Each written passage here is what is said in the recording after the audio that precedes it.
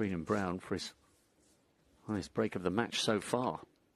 He would have expected more, but this has been important, and it's kept him in touch. Oh, look at the bend on the cue ball there. Perfect position.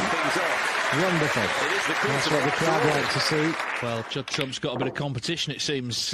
The little exhibition shots at the end of frames. Great to see, isn't it?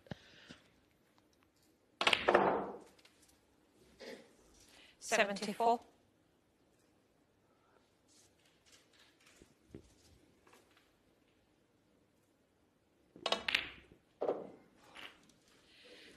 Eighty. Very stylish conclusion then to a fascinating session of snooker. Is the black in? Of course it is. Wonderful clearance from Hossein Vafaei to end the first session of this match. They've just won it overnight. Ding Junhui holding a narrow advantage at 5-4.